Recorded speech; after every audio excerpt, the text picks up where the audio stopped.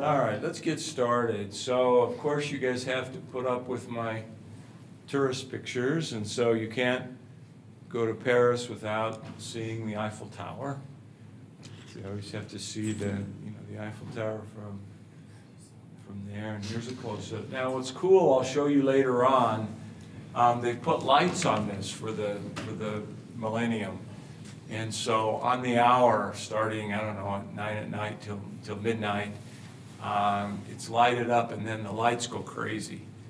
And so lights go crazy for about three minutes on there. So we'll show you that later on in the, uh, you know, in the lecture series. That's your incentive to, you know, come in so that you could see them.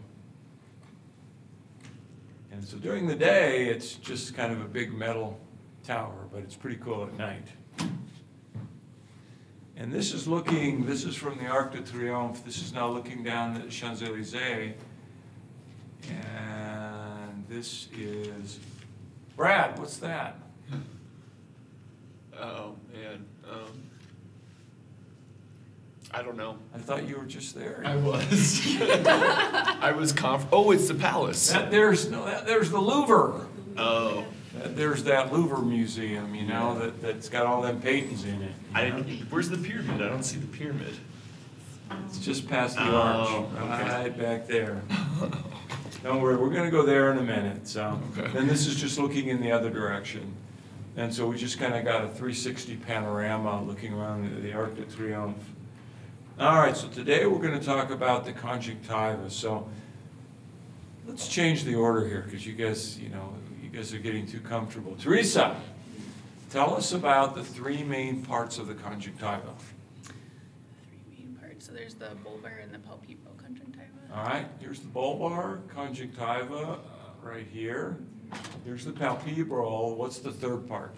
Is it the forniceal? The forniceal, all right? So when we look at it, the conjunctiva, what we really think about as conjunctiva is is the bulbar conjunctiva, the conjunctiva that's sitting on the surface of the sclera adjacent to the cornea. But remember now, it, it goes into the forniceal conjunctiva and then reflects back. And remember, the conjunctiva from last week was the innermost layer of the eyelid. And so you've got the palpebral conjunctiva. So three main parts of conjunctiva. So when we looked at the lid last time, remember the conjunctiva, that's the palpebral that's lining the inside surface of the lid, is really tightly adherent to the tarsus and the posterior part of the lid, whereas the bulbar conjunctiva, and especially the forniceal conjunctiva, is very, very loose. There's this loose connective tissue underneath it. You know, let's go back one layer here, okay? Let's talk a little bit more about the conjunctiva. Uh, Brad, tell me about the epithelium of the conjunctiva. So it's a stratified squamous, non-keratinized epithelium. Okay? What are these little dots in here? Those are goblet cells. They're goblet cells, and if you look, you can see that the further away you get from the limbus, limbus is up here, the more goblet cells you have. So you don't have many goblet cells here in the limbus, but as you get down into the fornix especially, you have lots and lots of, of goblet cells. Mike, what do goblet cells make? They make mucin. Mucin, and why is mucin important? Uh, it coats the innermost layer of the tear film. Okay, so while we're at it, we might as well just throw it in here. How many layers are there of the tear film? Three layers. Three layers. So this is the innermost layer, the mucin layer. What are the other two layers? You got aqueous, which is the kind of middle of the sandwich, and then oil is on the outside. Okay, so, um, Rachel, what, um, what are the cells that make the, um, surface layer? Exactly. So remember, we looked at the meibomian glands, the oil glands, they make the surface layer. What does that do? Exactly. So it kind of coats the surface of the tears, it keeps them from evaporating. So even though you make aqueous tears, sometimes if you have meibomian gland disease, they will evaporate rapidly and you'll still get, get a lot of dry eye symptoms.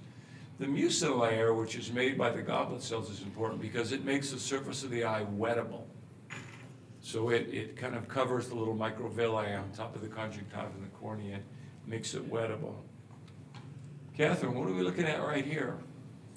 Uh, so this is an external photo of the left eye, and it looks like there's a, um, kind of white kind of fatty elevation at the limbus nasally. It's kind of a white, really elevated, that really doesn't look like, uh, you know, what you'd see with a pterygium or a pinguecula. I'll give you a hint, this is a child. Uh, It's a um, lipodermal choristoma.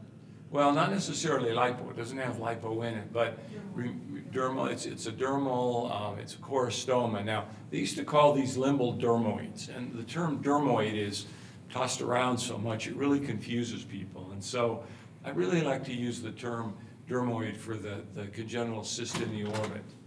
And so this is what we call a a lipodermoid, but the proper name for it is a limbal dermal choristoma.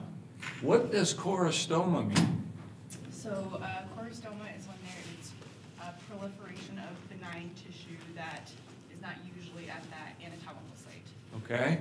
Marshall, what does hamartoma mean? Good evening, by the way. A benign tissue that is not, that is in the right place. Exactly. Exactly, so that's a good way to, to, to keep them apart to remember. Hamartoma is a benign growth of tissue that normally is there, whereas choristoma is a growth of tissue that's normally not supposed to be there, although they are benign. And so when we look at a limbal dermal choristoma, Chris, what is this thing right here, that this is actually from that child? Uh, so it looks like, almost like a hair follicle, you see like the sebaceous gland, it looks like a little hair follicle. Exactly, so you normally shouldn't have hair follicles and sebaceous glands at the limbus, so thus the term choristoma. So you've got a little sebaceous gland, you've got these hairs, you've got this dense connective tissue, but you can even have other stuff in these. Uh, Ariana, what is this thing? Where are you? Oh. Uh, That's cartilage. Cartilage, exactly, so let's go to a higher power. So what's interesting is these limbal dermal choristomas can have cartilage in them. It can even have this stuff in them. Sneha, what is this stuff? Um, glands, what kind of glands? Uh, eccrine glands, you can even get eccrine glands, like, like lacrimal glands in there. So you can get lacrimal gland, you can get cartilage, you can get hair, you can get fat, you can get all kinds of, of things in these choristomas. What systemic disease do you get concerned about in a child who's got a limbal dermal choristoma? Sean? Uh, Goldenhar's? Golden hearts. So what else do kids with Goldenhar's have? Uh, preauricular skin tags. Exactly, so you look in front of the ear, skin tags, and they have funny teeth and bony abnormalities, all kinds of things. But the key is, is you may see a picture on boards of a limbal dermal choristoma, and then they'll show you picture of an ear tag or something, and so you need to know that that's associated with Goldenhar syndrome. There's the cartilage, so very interesting stuff. Allie, what is this thing? Um, Sorry, it's overexposed picture, I took that myself, that shows how external photo, I'm not sure which eye, it looks kind of like or elevated white plaque with some vessels overlying it that kind of goes up to the limbus, but not over it. What could that be? Pinguecula, exactly. So if you guys look carefully, virtually every person in Utah over the age of 15 has a pinguecula. I mean, it's just automatic. That's part of my normal, you know, um, um, smart phrases is pinguecula. Every person has it. Diagnosis one, pinguecula. Diagnosis two, dry eyes. And so those are the two things that occurs in everybody in Utah. Why do you think we have lots of pinguecula in Utah? Sun. What part of the sun? UV, exactly. So this is ultraviolet exposure. Because we're at altitude, we have lots of UV. But secondly, what do people do a lot of in Utah? They do outdoorsy things. They ski, hike, climb, all kinds of things outdoors, and we get 300 days of sunshine a year as opposed to the Midwest, which gets, you know, 30. And so we get 300 days of sunshine. And so everybody in Utah has a pinguecula. It's very, very common. All right, Teresa, what is this now? It's the pterygium. Pterygium, what's the difference? So it's grown past the limbus onto the cornea. Exactly, so a pinguecula and pterygium are really the same pathologic features. They're, you know, UV-induced degeneration, but a pterygium grows over the limbus onto the cornea. So what do we find pathologically when we, when we look at these? Uh, Elastoid degeneration. All right, so here we have, this is the substantia propria underneath the conjunctival epithelium.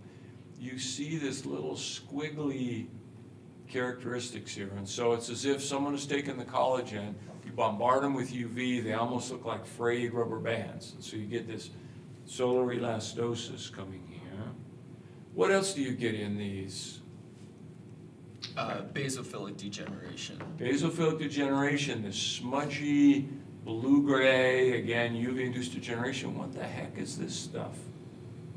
So it looks like calcium. Calcium, so you can actually get calcium in these, and so when you look at pterygia with your slit lamp, you can actually see little white specks sometimes of calcium in there too, so that's just a sign of longevity.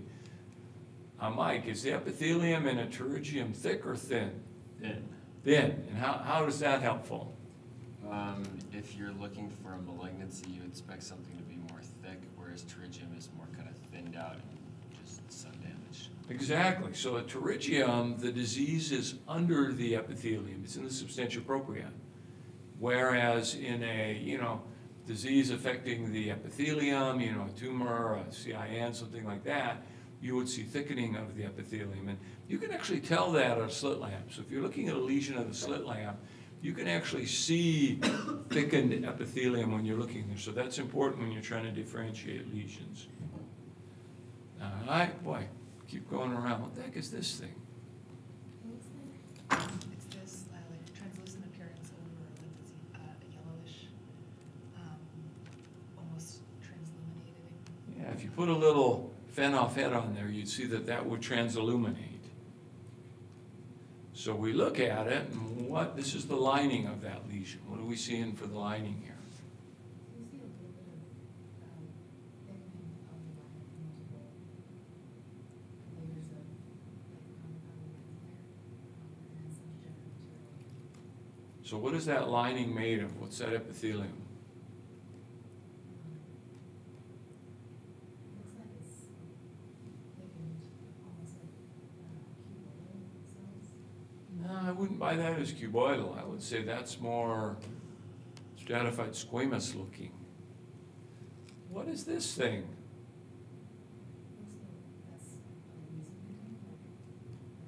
Yeah, so there's goblet cells in here, and there's a stratified squamous epithelium. So what do we call this lesion, this cyst?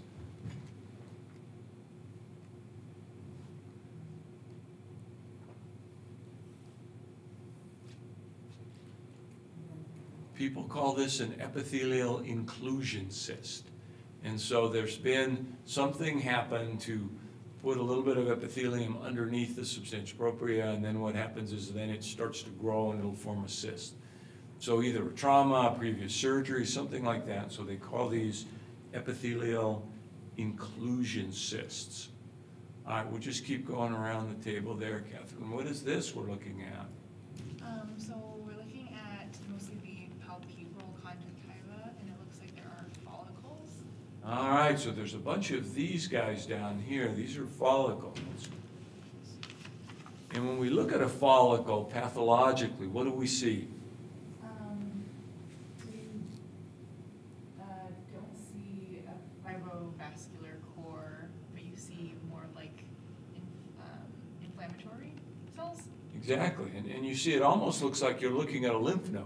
You know, you see this cluster in the center here of these lighter staining lymphocytes, and then surrounding by some darker staining lymphocytes, so it almost looks like a lymphoid follicle, so that's how you remember the follicles. So follicles have these gathering of lymphocytes. Now, if- if there are vessels, the vessels are around the periphery of the follicle. So the center of the follicle doesn't have a vessel in it. It's got just these gathering of lymphocytes, almost like a lymphoid follicle.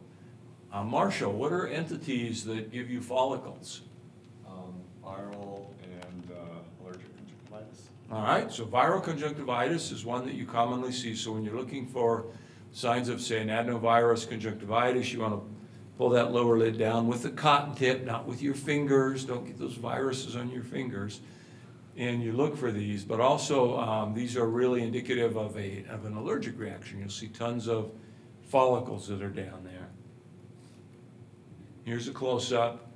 You've got these lymphocytes, paler staining in the center, darker staining around them in a follicle. What the heck are these, uh, Chris? Uh, these are raised, this is more like papilla to me. Okay, so how are papillae different than follicles?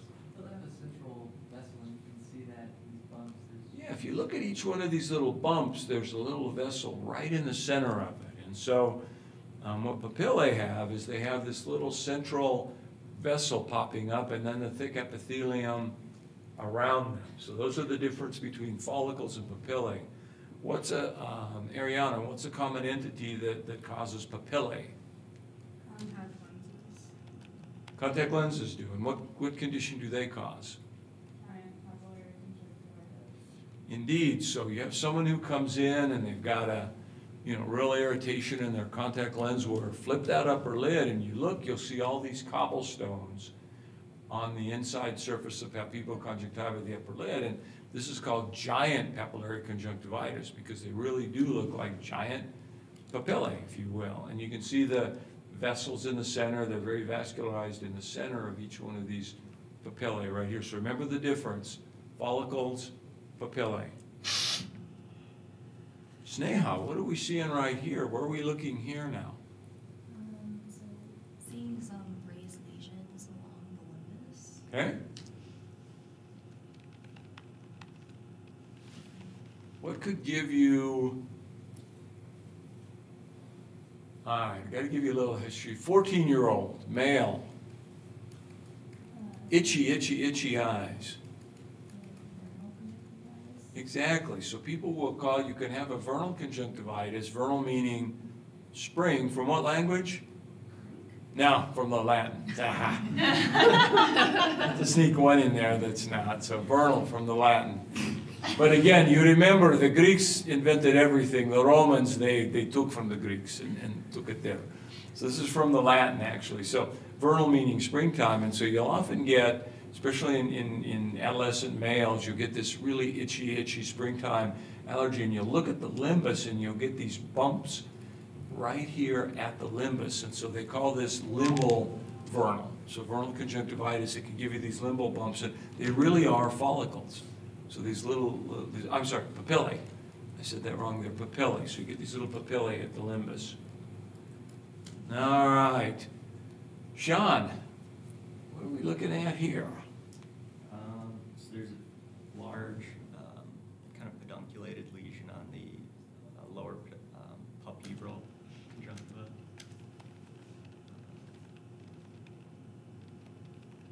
Here's the path. So there's lots of loose connective tissue, um, lots of vessels in there. Uh, So you could think about like pyogenic granuloma. Okay, so this is a classic pyogenic granuloma. Why is this one of those terms we have to memorize? uh, Because it's not pyogenic or granuloma. Exactly, it's a double misnomer. Pyogenic means literally fever-inducing, so it's not infectious. And granuloma means giant cells and epithelioid cells. So this is called a pyogenic granuloma, and it's been called that for years in, you know, in the literature, but it's not pyogenic, nor is it a granuloma, so it's a double misnomer. So it is what kind of tissue? Granulation. Granulation, so kind of like exuberant scarring tissue. Think of this as like a keloid only of the, of the conjunctiva. So loose connective tissue, multiple blood vessels coursing through it, lots of edema, mixed inflammatory cells, lymphocytes, plasma cells, PMNs. And so this is usually a reaction to something. So something get in the eye, maybe they had a surgery, maybe they had something fall in the eye and they get this exuberant granulation tissue. So pyogenic granuloma. All right, Ally, what are we looking at here? Looks like s- kind of diffusely injected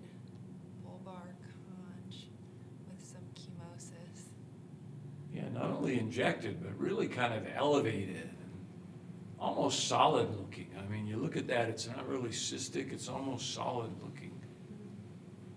What could give you that in the conjunctiva?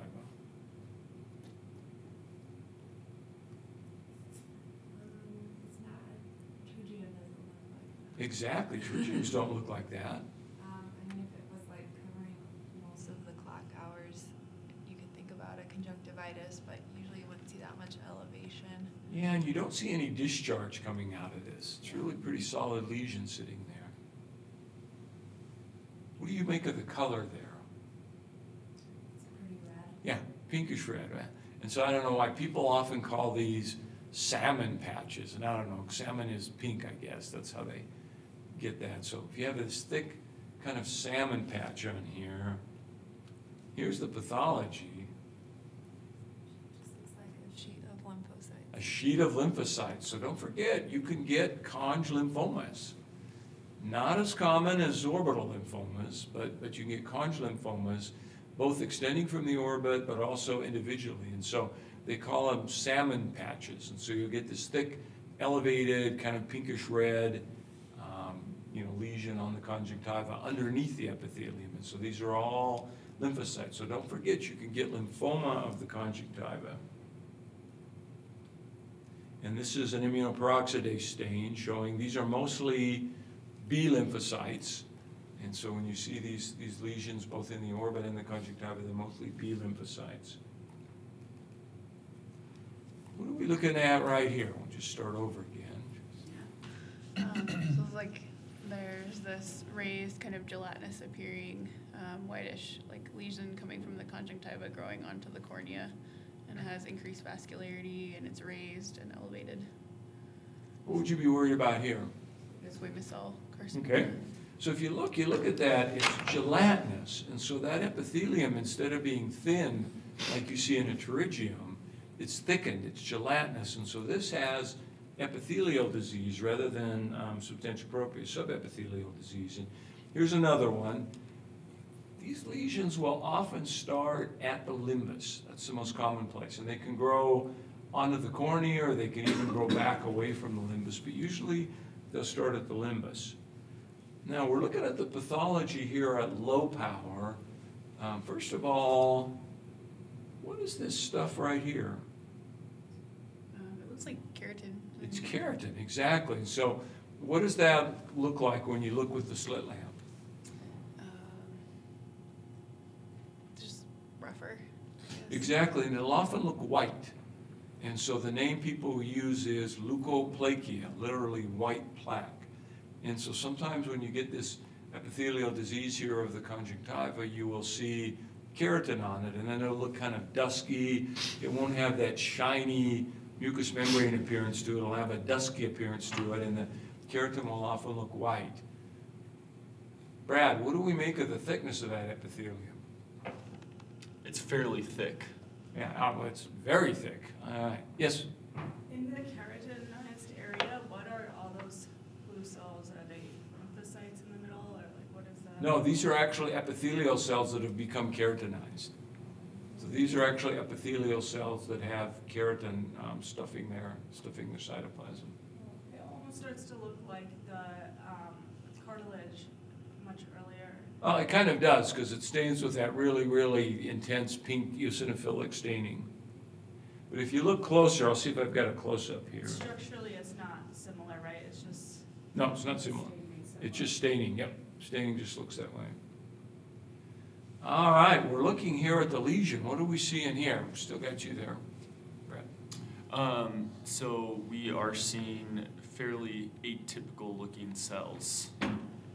And um, it doesn't quite look like the basement membrane has been violated yet. All right, so let's say that the basement membrane in this lesion is completely intact. What do we call this? CIN. And what does that stand for? Um, conjunctival intraepithelial neoplasia. Exactly. Someone might say conjunctival. What did I say? Conjunctival. but Conjunctival. yeah. Conjunctival intraepithelial neoplasm, so CIN. And Mike, how do we grade CIN?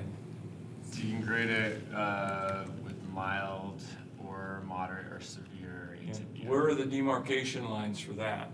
Like in thirds, so one third, two third, and then all the way. All right, so if it's the, if the atypical changes are in the lower third, we see, say, CIN with mild dysplasia. If it goes up to two-thirds, CIN with moderate dysplasia. If it goes above two-thirds, then it's CIN with marked dysplasia. But by definition, CIN has an intact epithelial basement membrane. And here we can see, this is full thickness. Look at these nucleoli. Look at the pleomorphism, some big, some small, nucleoli, clumped chromatin, loss of normal maturation all the way to the surface. So CIN with marked dysplasia. What do we see in here? We'll just keep going, Rachel.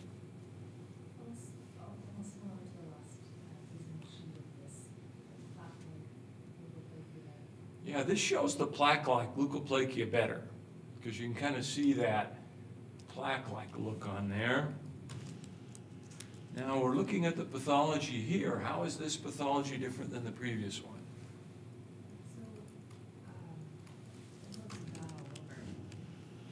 There's a lot of, um, basophilic staining, it's, you've got some keratin at the surface, but you have these, uh, growths of cells that you know, go really deep. Uh, yeah, if you look right here, look at these cells right here. These are definitely below the basement membrane. So this is no longer a CIN, this is now squamous cell. So this is now a superficially invasive squamous cell carcinoma of the conjunctiva. And we look at another one. Catherine, what is this stuff right here? Keratin pearls. Exactly, so just like squamous cells of the skin, when you get invasive squamous cell of the conjunctiva, you can get these keratin pearls associated with it. So you get these round clusters of keratin. These cells are actually in the substantia propria. And so growing through the basement membrane into the substantia propria, so an invasive squamous cell carcinoma. And here's a close-up. Keratin, whorl, keratin pearl, but here you have keratin inside the cells. Even right here. Very, very dysplastic cells, very, you know, aggressive-looking tumor at this point. Okay, what's happening here? Marshall?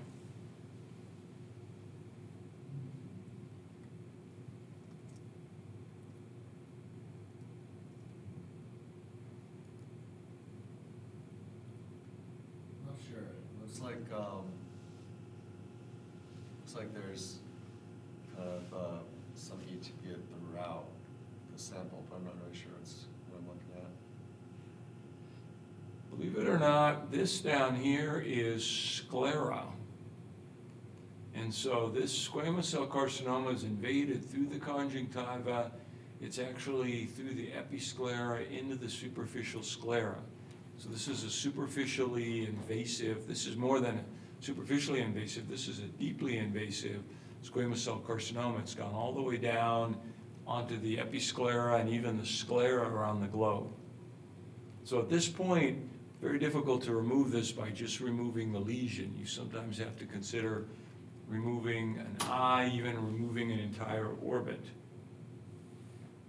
Now, when these tumors spread, Chris, how do they spread? What are they known for, for when they spread from the eye? So these can spread along the nerves. Exactly, so here's a nerve in the orbit, and here's tumor cells along the nerve and even some inside the nerve. And so you want to really look carefully with these because if they start invading into the orbit, they can even start going back along the nerves. And so you really want to be careful with these. You want to check these people for, you know, anesthetic areas. You know, that'll let you look, you know, know where to look. And so you want to do an MRI scan. You want to make sure that this is not tracking along those nerves. So this can actually leave the orbit, tracking along the nerves and, and invade even into the brain at this point. And here you see again these cells around that nerve. So these squamous cells, for some reason, love to, you know, escape along the nerves. And so you want to keep that in mind when you're working these patients up. All right, what are we seeing right here? Ariana? Uh, here, you're again looking at an external photo of the eye, and on the, uh, bulbar conjunctiva, there's a, there are multiple pigmented areas, and then on the far bottom area, that's maybe a normal vessel, there's a larger vessel, and then right now you're pointing that there's also, um, pigmentation around the limbus. What is this? Uh, So then this is, uh, it looks kind of purplish here, but some kind of pigmented patch. If you look right there, that doesn't look like the superficial um, pigmented conjunctiva. This is kind of racial pigmentation here at the limbus and then a little bit of pigmentation in the conjunctiva. That's kind of almost a blue, bluish gray look to that. Where would that pigment be located? Probably, uh, deeper, like junctional, like junctional nevi can look blue, um, or this could be on the sclera. Yeah, this is even deeper than the conjunctiva. This is deeper like in the sclera or even deep to the sclera. This is a picture that I really like because this is a patient with oculocutaneous mel- uh, melanosis. And this is a disease entity where you have pigmentation deep. And so this is now deep to the sclera right here. This is not conjunctiva. And so this is actually the lesion right here. This is just superficial pigmentation. And so in oculocutaneous melanosis, you actually get deeper pigmentation. And that's a really important discerning point. These patients are susceptible for malignant melanoma, not of the conj, but of the choroid. And so that's what you need to remember with these oculocutaneous melanosis people. So this is that superficial conjunctival pigmentation. This is deeper, deeper pigmentation. All right, what are we seeing right here? Sneha? Um, so here I'm looking at a more raised, uh, yellowish lesion on the bulbar conj. Okay. Well, I apologize for the color. In, in clinic, that was almost more pinkish than it was yellowish. This is a, a 14-year-old. More so maybe this. All right, so you'd be concerned about a nevus here. And does this help you any? A lot of cysts, A lot of cysts. What does that mean in this lesion? um, more towards maybe this than All right, so as we go to a higher power, what you see is you see these cysts, and what are these cysts lined by? Uh. And then what are these guys in here? Goblet cells. So if we go back, when you have these nevi in the conjunctiva in an adolescent or a child going into puberty eventually, they will often grow, and the tip-off is you'll see cysts in there, and you can see these with the slit lamp. And, and the way I remember it is, where do the melanocytes come from embryologically? The neural crest. So the melanocytes migrate out from the neural crest, they go to the junction of the epithelium between the epithelium and the substantia propria. Then they start to grow, and then they drop down into the subepithelial tissue, and while they're going, they grab epithelial cells and yank them down with them. Okay, is that what happens? No, but don't say that on oral boards, but that's how you remember it. So remember, they migrate out, they grab epithelial cells, and so that lets you know this is a long-standing nevus, maybe even congenital. And so when you really question the parents, they will often say, you know, something's been there for a while, but it's getting bigger, it's getting darker. So as these kids hit adolescence, these not only grow, there's some kind of hormonal influence to them, but they actually get darker. And so then they notice them, and that's when we end up, up removing them. And so if you look, these will have cysts in them, and that's a really reassuring feature that this is not something that you worry about, you know, forming a malignancy. All right, so when we look at nevi of the con, Sean, how do we subdivide them? So, uh, based on location of the melanocytes, Okay? so there's junctional, compound, or And what is this particular one? This one is um, junctional. Junctional, so you look at the nest of melanocytes, they're here in the junction between the epithelium and the substantia propria. There's often some inflammatory cells underlying them. So this is what we call a junctional nevus. Ally, what kind of nevus is this? I might say it's compound. Compound, so it's got both junctional and subepithelial. And then lastly, subepithelial. So this is the equivalent of a dermal nevus of the skin. Again, there's no dermis on conjunctiva, and well, nor on the eyelid skin for that matter, but, so it's kind of the equivalent of a dermal nevus. Reason that this is important is when the melanocytes lose touch with the junction, they lose their malignant potential. And so you can still technically have a malignant melanoma arising from either a junctional or a compound nevus, not from a subepithelial nevus. So for some reason, once they've matured and dropped down, they've really lost their malignant potential. What do we see in here? So an external photograph, looks like this uh, brown kind of like dust-like lesion along the limbus. Okay, Um, So more likely a uh, PAM, what does PAM stand for? primary acquired melanosis. Exactly, so if you look at this, it's flat. It's almost like someone took pigment and just dusted it. It's often at the limbus. So this is my favorite story, I tell this every year. This is about a forty-ish year old female, um, on the um, anxiety scale of zero to ten, about a twelve. And, and just looked it up online and is asking me questions. Oh my God, am I gonna die? Is this a tumor? Is it a melanoma? And asking me other questions. So 40 minutes later, I calmed her down. I said, we're going to photograph this. We're going to bring you back in six months. However, if it changes between now and then, you let me know and I'll see you sooner. And if it's really bothering you, we'll remove it. And so I'm sitting home at night, that night, you know, watching the news, and I get a call from the resident on call. Did you see patient so-and-so today? I said, well, yeah, I did. Well, she just called in. It's growing. And so she literally called that night, it's growing. And so to keep from getting phone calls every day for the next six months, I said, fine, come in and we'll remove it for you.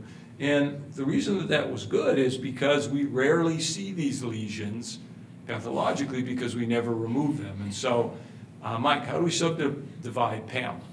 So you got with atypia without, right? So what is this one? This one just looks like it's lining up along the basement membrane, so pretty, a- not atypical. So Exactly, so PAM without atypia is benign melanocytes right along the basilar layer of the epithelium. And this is even what normal racial pigment looks like. So when you see a darker skinned person, it's not uncommon, especially at the limbus, that you'll see a little PAM-like looking stuff. So don't worry if you see someone who's, who's darker or pigmented, they'll have this at, at the limbus often. And so we even call that just benign racial pigmentation. It's the same thing as PAM without atypia. And here you can see on a close-up, these melanocytes benign along the basal layer. They do not extend up into the epithelium. They don't show any atypical features. All right, what are we looking at right here, Rich?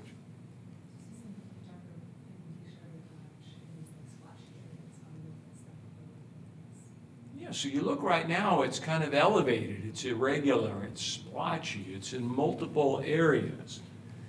And we go ahead and we do a biopsy, what do we see in here?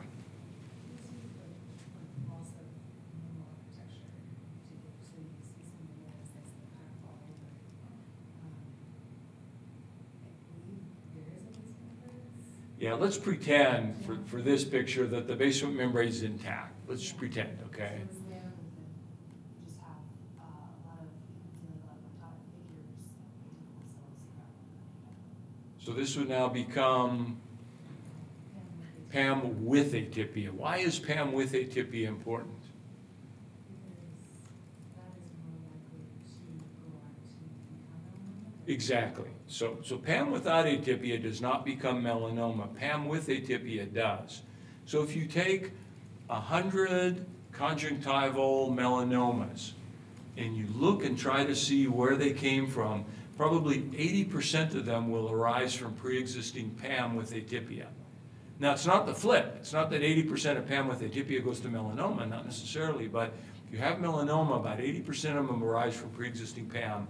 Maybe ten to fifteen percent arise from pre-existing nevi that went bad, and the others, sometimes we just don't find it. But by far and away, the most common is um, that melanomas arise from pre-existing PAM with atypia.